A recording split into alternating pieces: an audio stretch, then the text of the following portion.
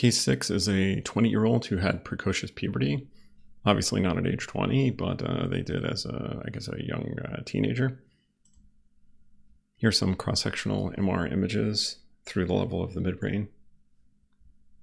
You have a T2 on the left, a FLAIR in the middle, and uh, this looks like a pre-contrast here on the right. Here I've given you two more images. This is a pre-contrast and a post-contrast on the right.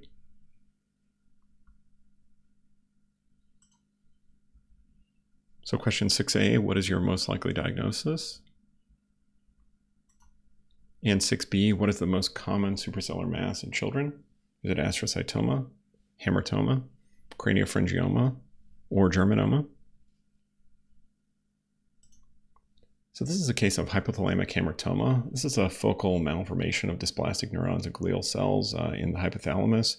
It's thought to arise from unusual neural migration uh, in utero, so in the first uh, early days of development in the first trimester.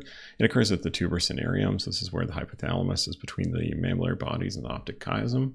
Now the imaging appearance of these is it's going to be iso to hyperintense to cortex on T2, iso-intense to cortex on T1, and with little or no enhancement on post-contrast imaging. Now, the most common presentation is precocious puberty, what, what you'll see on some tests sometimes is gelastic seizure. This was a classic USMLE question. And gelastic seizures are ones brought about uh, that bring about laughing. A crying seizure personally sounds terrifying, but uh, that can also happen as well. The treatment of these uh, is predominantly surgical resection, but you can also perform stereotactic radiosurgery. So here are the images I showed you, and you see on the T2 uh, in the basal cisterns here, there's something occupying where there should normally be only CSF.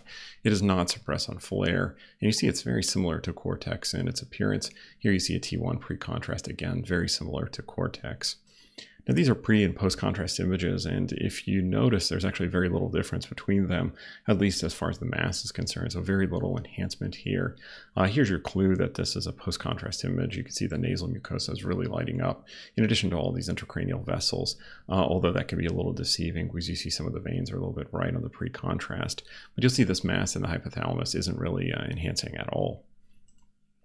The most common suprasellar mass in children is a craniopharyngioma, and uh, so those will typically be uh, solid and cystic masses uh, in, a, in a similar region. Uh, they tend to be a little bit closer to the sella. You'll see those. These are you know, less homogeneous than these hamartomas. The hamartoma we saw in this case, very homogeneous, non-enhancing. Uh, craniopharyngiomas will definitely have enhancement and be solid and cystic.